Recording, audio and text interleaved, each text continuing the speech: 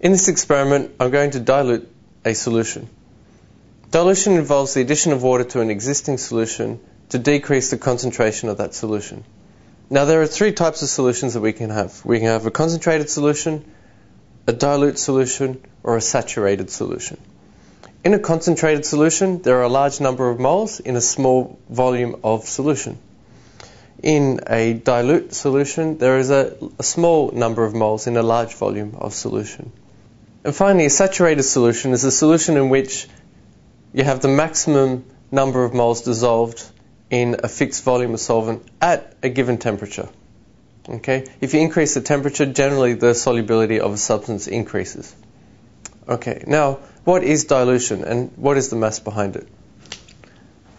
In your first flask, the number of moles equals the concentration of the solution multiplied by the volume of the solution.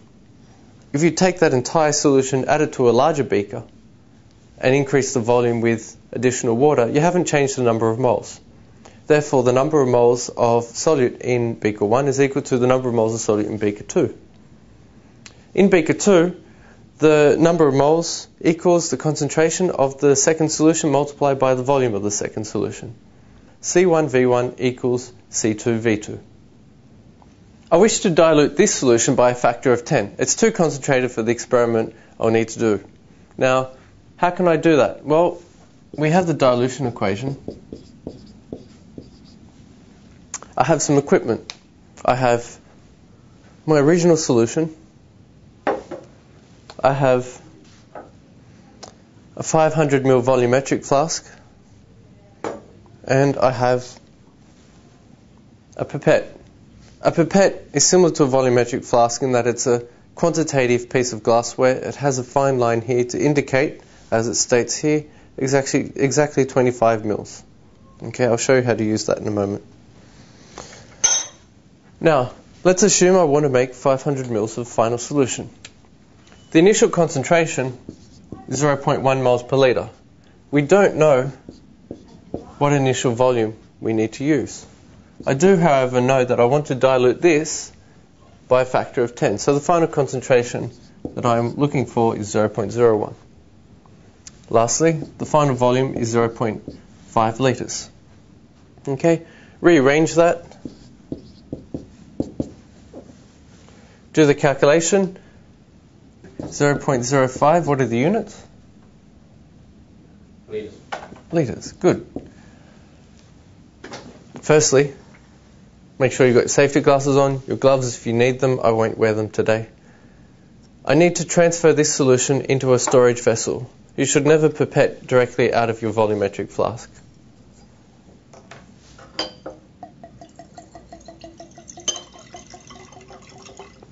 Label that flask with the same details that you have on your volumetric flask.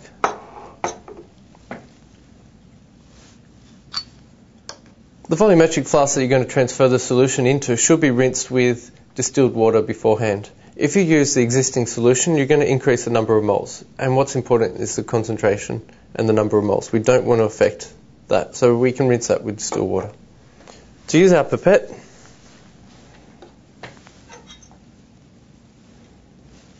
I'm right-handed. I hold it in my right hand. I have here what's called a pipette bulb. I place that on top of the pipette. I don't jam it in. And I just squeeze the button.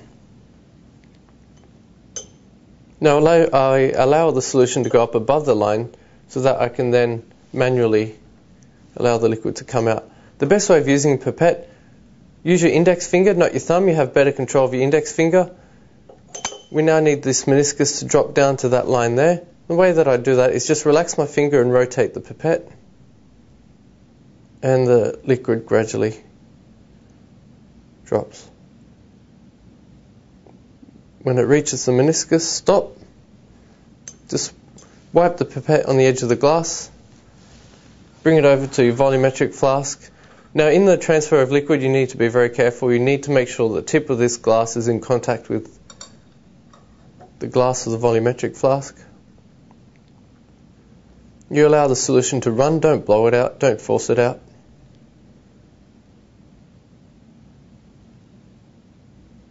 When it stops running, count to three. One, two, three. Take that out. There's a small volume of liquid in here. Okay, it's actually calibrated for that volume of liquid. So we have transferred exactly 25 mils of our solution into this vessel. Now we needed 50 mils. So we need to repeat the process.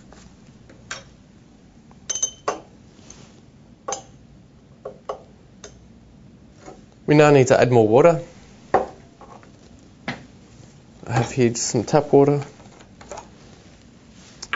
I use my funnel.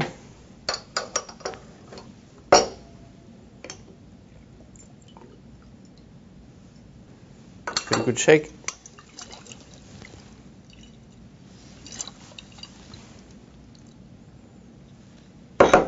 And now fill it with your eyedropper or your wash bottle.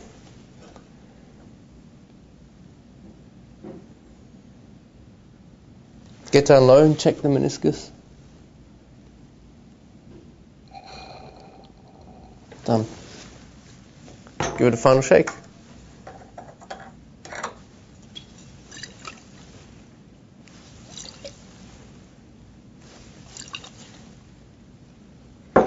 We've successfully diluted our solution.